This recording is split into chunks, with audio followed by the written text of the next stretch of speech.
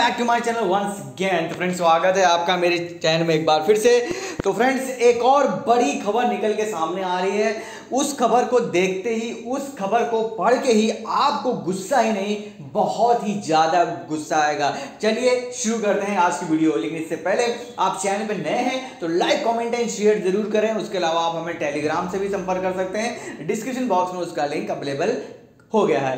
तो फ्रेंड्स जैसे कि आपको पता है कि उत्तराखंड में बैकडोर भर्तियाँ स्पेशली विधानसभा की जो बैकडोर की भर्तियाँ थी, उसमें आपने देखा होगा, जाँच रिपोर्ट सामने आई थी। विधानसभा अध्यक्ष रितु खंडूरी ने जो है, लगभग 250 कर्मचारियों को निलंबित किया था। उसके अलावा सचिव साहब को भी जो है निलंबन किया था, जिनके जिनको कॉन्टिन्यूसली प्रमोशन पे प्रमोशन दे दिया गया था। लेकिन इस वक्त की जो बड़ी खबर निकल के सामने आ रही है, आप चौंक जाएँगे कि उत्तराखंड से आज की बड़ी खबर विधानसभा के निलंबित सचिव मुकेश सिंघल ने गैरसण भरारेण से विधानसभा में ज्वाइनिंग दी दी गई। वाह जी वाह। मतलब आप देख सकते हैं कि किस तरह से पूरा खेल जो है उत्तराखंड में लगातार चल रहा है। तो आप देख सकते हैं विधानसभा के निलंबित सचिव मुकेश सिंघल को गैरसेन के भरारी सेन विधानसभा में ज्वाइनिंग कल शाम को दे दी गई है।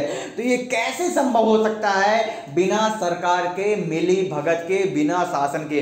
जब विधानसभा अध्यक्षा ने जो है अपनी रिपोर्ट में ये साफ़ साफ़ कहा है और ये आदेश भी दिया है कि सचिव साहब को निलंबन कर दिया जाता है तो क्या गैरसैण की विधानसभा दूसरी है और देहरादून की विधानसभा दूसरी है क्या? जो सबसे बड़ा जो है क्वेश्चन मार्क यहाँ पर उत्तराखंड शासन पे उठता है। तो यहाँ पर आप देख सकते हैं कि मुकेश सिंघल को विधानसभा अध्यक्ष ने किया था निलंबित। निलंबित पीरियड में भराड़ी सेन विधानसभा में कैसे किया गया है? अटैच प्रमोशन के साथ नियुक्ति पर उठे थे सवाल। तो आप देख सकते हैं कि विधानसभा अध्यक्ष ने 228 पदों की लिए जो है यहाँ पर अभी तक जो है कैंसिल कर दिए गए हैं। अभी लगभग आप देख सकते हैं 22 से अधिक पोस्ट बाकी हैं, जिनका निरस्थन लेटर अभी आना बाकी है। और आप देख सकते हैं, मात्र कुछ समय में ही तीन बड़े बड़े प्रमोशन जो है सिंगल साहब ने ले ली गए। लेकिन जो सबसे बड़ा सवाल अभी का यही उठ रहा है कि जब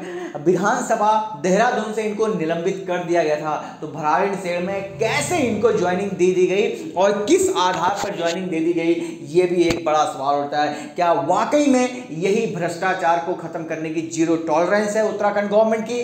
सबके सामने ये दिखाई दे रहा है। बाकी आपकी क्या राय है, इस पर कॉमेंट सेक्शन में मुझे बताइएगा ज़रूर। वीडियो अच्छी लगी हो तो लाइक कर दीजिए चैनल पे पहली बार है तो सब्सक्राइब ज़रूर करें। Thank you for watching me जय हिंद, जय भारत, जय उत्तराखंड।